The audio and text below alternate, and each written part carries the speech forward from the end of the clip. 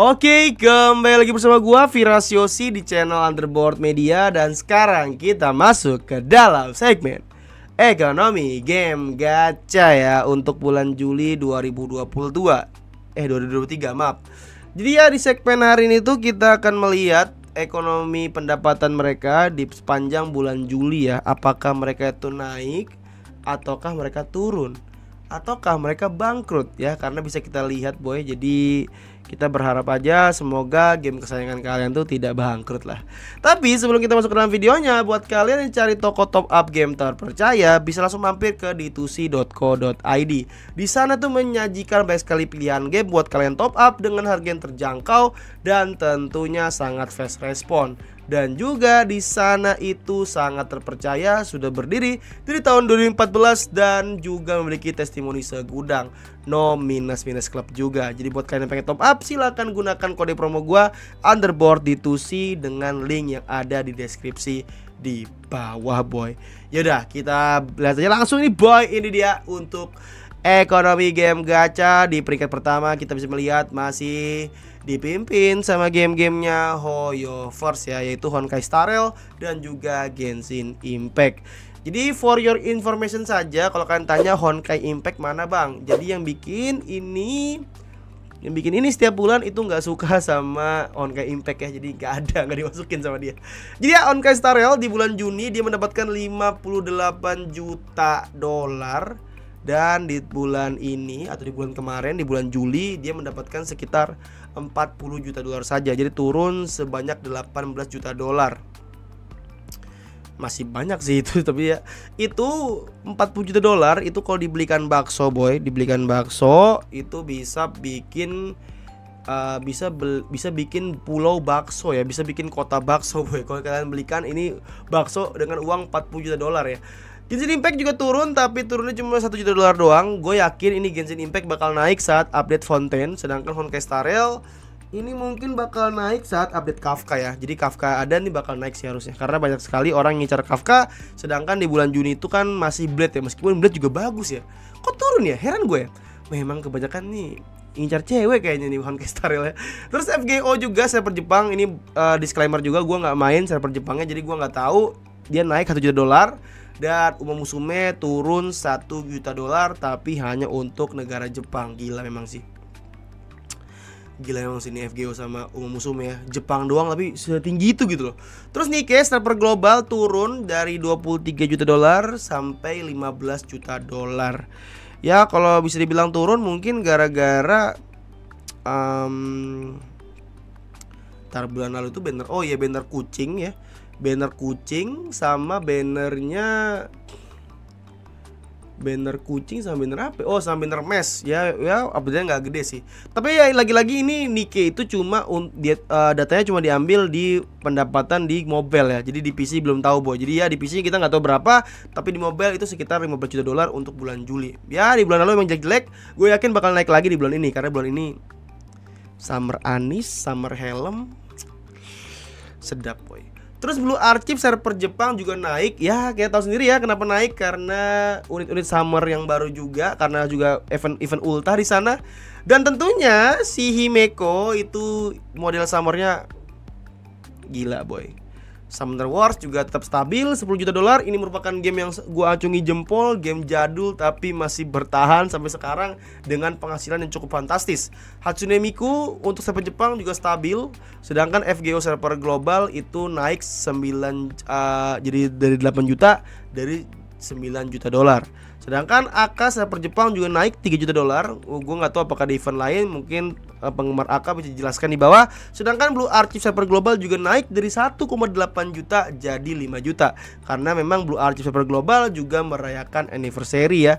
Banner Mika ya kan Banner Mika yang di mana banyak stres nggak dapet Terus Memento Mori masih sama Masih jualan lagu dia ini game idol jualan lagu tapi kok laku ya heran gue loh masih untung aja nggak berubah dengan sedangkan Epic Seven itu naik satu juta dolar ya ini game grinding gila ya tapi sampai sekarang masih relevan terus even burn red game yang bagus tapi lagi-lagi gara Cuma di server Jepang doang itu turun dari 7 juta jadi 4 juta dolar. Sedangkan Brondas 2 itu naik dari 2 juta dolar jadi 4 juta dolar. Wah, mantap nih Brondas 2 nih, mantap nih.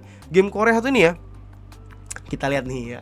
Kita lihat ya, kita lihat nih apakah dia akan menjadi game-game Korea pada umumnya yang di mana cuma tiga bulan pertama naik habis itu turun ya. Kita lihat terus bisa connect itu naik juga server Jepang karena server global tutup, take OP juga naik dari 390 juta eh 39 juta 390 ribu jadi 2,9 juta cukup gede naiknya nih tapi server Jepang doang sedangkan AK server global itu malah turun dari 2,5 jadi 1,9 Azulen juga turun dari 3 juta jadi 1,7 untuk server Jepang sedangkan Eversol itu naik ya.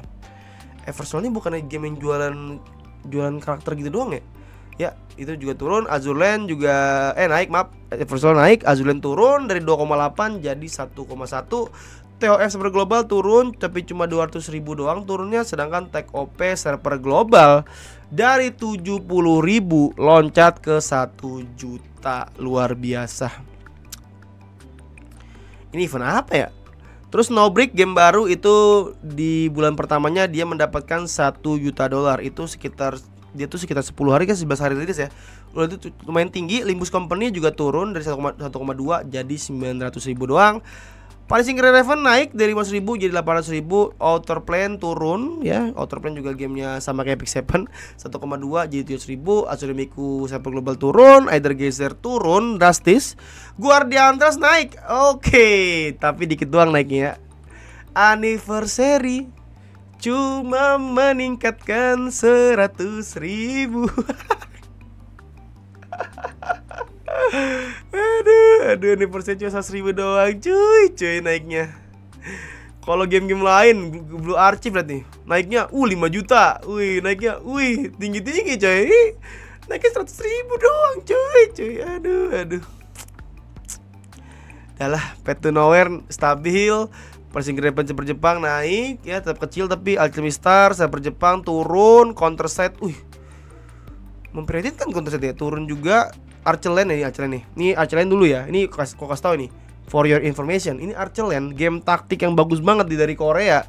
Itu pertama-tama rilis gila pendapatannya boy. Cuma tiba-tiba jadi kecil ya, gue gak tau kenapa boy. Neural Cloud juga turun, Grand Frontline juga naik, tapi lagi-lagi game-gamenya ini ya, game-gamenya IP GFL nih selalu begini boy ya. Ih, lihat deh, empat empat nih boy. empat orang berderet ya. Terus berderet ya. Arteri gear juga stabil. Ih, sudah modet nih. Higan lihat nih Higan. Higa nih pas pertama rilis boy. Monster. Ditabrak Honkai jadi kecil. Kasihan banget Higa nih. Alchemy Jepang eh Jepang global turun juga 50 ribu. Ya intinya sih itu ya. Pendatang baru seperti Brondas 2 ini cukup fantastis. Karena memang Brondas 2 itu cukup bagus ya. Karena developer juga ikutin saran dari playernya. Dan juga banyak free gacha. Jadi buat kalian yang pengen nyoba Brondas 2 silahkan dicoba. Dan animasi karakternya juga begini boy ya. Jadi kalau kalian suka yang begitu-begituan silakan main Brondas 2 ya. Ya, semoga bakal sudah nggak ada sih. Terus juga Ark naik itu juga bagus. Terus eh Ark naik seperti Jepang maaf, seperti Jepang juga naiknya drastis. Sedangkan GT meskipun ulang tahun, meskipun bannernya bagus, bannernya OP cuma naik 100 ribu saja. cuma naik 100 ribu saja boy boy. Aduh, aduh, Padahal nih, ini jujur ya, ini harusnya persen ini bisa bisa tinggi boy. Ada hero bagus, paket-paketnya bagus, ya tapi ya, ya gitulah ya. Namanya juga game free to play, ya udah kita nggak usah berharap banyak. Tapi intinya itu dia pendapatan bulan Juli. Menurut gua ini Honkai Star Rail bakal terbang nanti. Tunggu update Kafka, Genshin Impact, tunggu update Fontaine. Nike bulan ini pasti bakal naik ya. Dan juga Blue Archive nanti bakal turun juga abis event. Biasanya abis event Ulta bakal pada turunan ya. Jadi itu aja dari gua. Brondas 2 menurut gua bakal naik nanti Karena Brondas 2 di event Summer nih Begini boy eventnya. Sudah kayak thanks for nonton. Sampai jumpa. Jangan lupa follow kita Underboard ID Untuk mendapatkan informasi game menarik Atau bisa follow Instagram gua sendiri Yaitu Virasyosi Jika kalian tidak keberatan. Dan kita akan jumpa lagi di next video. Sampai jumpa.